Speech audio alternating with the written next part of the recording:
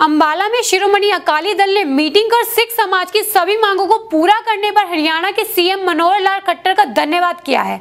शिरोमणि अकाली दल का कहना है कि आज तक कोई ऐसा सीएम नहीं आया जिसने सिख समाज की मांगे पूरी की हों। हरियाणा में बाकी रहे मुख्यमंत्रियों ने सिर्फ़ बातें की, लेकिन सही मायनों में काम सीएम खट्टर ने किया। मुख्यमंत्री जी ने करनाल में किए हैं, वो हमारे समाज के लिए बहुत ही सराहनीय है। आज तक जब से हरियाणा बना है, हमने कभी नहीं देखा कि इस प्रकार की जो हमारी मांगे थी, सारी उन्होंने मानी है। और हम चाहते थे कि जो मुख्यमंत्री ऐसी घोषणाएँ कर रहा है, उसका धन्यवाद किया जाए। और आज के इस मीटिंग में हम इकट्ठे होकर उनका धन्यवाद करना चाहते हैं। हम बड़े दिनों से, बड़े सालों से ये कह रहे थे कि हमारा अम्बाला के नज़दीक कोई ऐसे स्थान बने। अम्बाला जिला जो है, वास्तविक में ये गुरु गोविंद सिंह जी के स्थान है यहाँ बहुत। और उनके नाम पर तीन साल उनका जन्म दिवस हम सारी दुनिया में मना रहे हैं। बहुत बड़ा फ़ंक्शन किया गया पटना साहब में।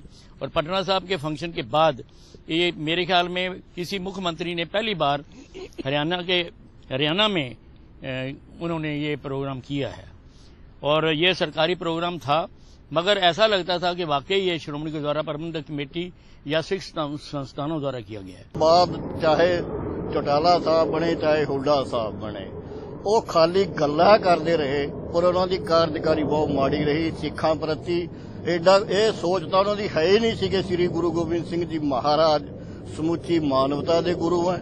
ਉਹਨਾਂ ਨੇ ਤਾਂ ਇੱਕ ਵੰਡੀਆਂ ਪਾਤੀ ਵੀ ਜਿਹਨਾਂ ਉਹਦੇ ਪੈਰੋਕਾਰ ਹੈ, ਉਹ ਵੀ ਸਾਡੇ ਔਰ ਤੁਹਾਡੇ ਸਾਹਮਣੇ ਹੋਇਆ, ਪਰ ਮੈਂ ਬਹੁਤ ਬਹੁਤ ਰੀਣੀ ਆ ਧੰਨਵਾਦੀ ਆ ਮਨੋਹਰ ਲਾਲ ਖੱਟਰ ਜੀ ਦਾ, ਜਿਨ੍ਹਾਂ ਨੇ ਇਸ ਗੱਲ ਨੂੰ ਸਮਝਦੇ ਹੋਏ ਕੇਸ ਉਸ ਮਨੁੱਖਤਾ ਦੇ ਰਾਖੇ, ਉਹਨਾਂ ਦਾ 350ਵਾਂ ਜਨਮ ਦਿਵਸ ਮਨਾਇਆ ਔਰ ਉਹਨਾਂ ਦੇ ਨਾਂ ਤੇ ਕਈ ਸੰਸਥਾਵਾਂ ਖੋਲਣ ਦੀ ਘੋਸ਼ਣਾ ਕੀਤੀ ਹੈ। ਔਰ ਮੈਂ ਬਹੁਤ ਬਹੁਤ ਰੀਣੀ ਹਾਂ ਔਰ ਉਮੀਦ ਕਰਦੇ ਹਾਂ ਕਿ ਬੰਦਾ ਇਸੇ ਤਰ੍ਹਾਂ ਕੰਮ ਕਰਦਾ ਰਹੇ। ਤਾਂ ਜੋ ਉਹ 66 ਦਾ ਦੁਖਾਂਤ, ਇੱਕ ਪਾਸੇ ਤਾਂ ਅਸੀਂ ਪਾਕਿਸਤਾਨ ਔਰ ਹਿੰਦੁਸਤਾਨ ਦੇ ਡਿਵਾਈਡੇਸ਼ਨ ਤੇ ਜਦੋਂ ਵੰਡ ਹੋਈ, ਉਦੋਂ ਦੁੱਖ ਹੋਇਆ ਔਰ 1966 ਚ ਇੱਕ ਬਹੁਤ ਵੱਡਾ ਦੁੱਖ ਅਸੀਂ ਭੁੱਲ ਜਾਈਏ ਕਿ ਸਾਨੂੰ ਇੱਥੇ ਮਾਣ ਸਤਿਕਾਰ ਮਿਲੇ वक्त तो चला, एक छोटे से ब्रेक का ब्रेक के बाद जल्द हाजिर होते हैं।